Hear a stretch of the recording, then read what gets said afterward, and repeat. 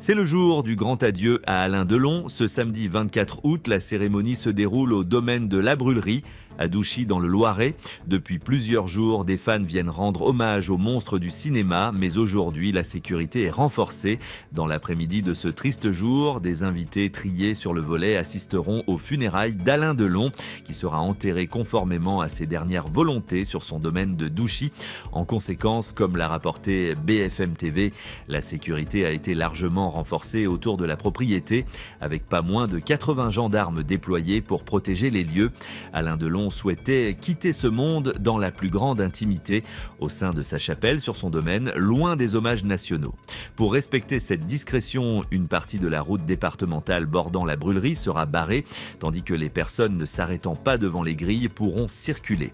De plus, la famille du défunt a demandé l'interdiction des drones et des hélicoptères de survoler la propriété afin d'éviter toute prise d'image.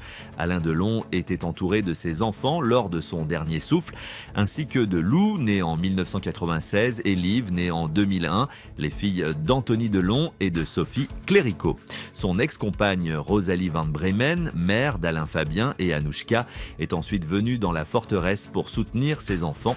Ce cercle très fermé sera élargi cet après-midi à quelques personnes, parmi lesquelles Géraldine Danon, filleule d'Alain Delon, Véronique de Villèle, marraine d'Anthony Delon et ancienne assistante d'Alain Delon, ainsi que Nicole Calfan et l'attachée de presse Nicole Quelques heures avant la cérémonie, Géraldine Danon s'est exprimée au micro de RTL.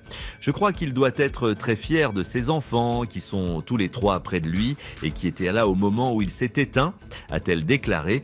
Heureuse de pouvoir lui rendre hommage, elle a ajouté C'est quelqu'un qui a bercé mon enfance, il a fait partie de ma vie, c'était un homme bon, un immense acteur qui a fait rayonner le cinéma partout dans le monde. Il représente la France, a-t-elle expliqué. Il a tout donné à son métier, a-t-elle conclu.